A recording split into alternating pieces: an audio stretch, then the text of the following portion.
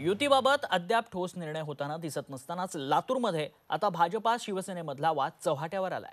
लातूर जिल्ह्यातील सहापैकी शिवसेनेच्या ताब्यात असलेले लातूर शहर आणि औसा या दोन्ही मतदारसंघांवर भाजपनं दावा केलाय.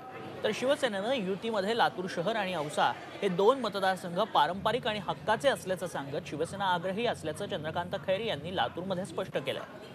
औसा विधानसभा मतदारसंघातून मुख्यमंत्र्यांचे स्वीय सहाय्यक असलेले अभिमन्यू पवार हे तयारीला लागलेत. त्यांची उमेदवारी जवळपास निश्चित मानली जाते. मात्र औसा मतदारसंघ हा गेल्या सहा विधानसभेपासून शिवसेनेकडे असल्यामुळे तो पारंपरिक मतदारसंघ असल्याचं सांगत औसावरील दावा सेनेनं अद्याप सोडलेला नाही. दरम्यान युतीची बोलणी फिसकटलीच तर शिवसेना स्वबळावर लढेल असंही चंद्रकांत खैरे यांनी स्पष्ट केलंय.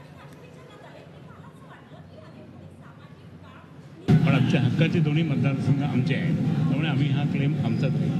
आणि औसा आणि लातूर शहर. जर समजा नाही झालं नाही युती झाली तर मग का आम्ही काय चूप असणार आहे का? मागच्या वेळेस असंच अचानक तुटली युती. मग आम्ही सगळीकडे उमेदवार उभे केले. जर तसं झालं तर मग तो एक विचार आम्ही उद्योजकांना विचारून तोही करू.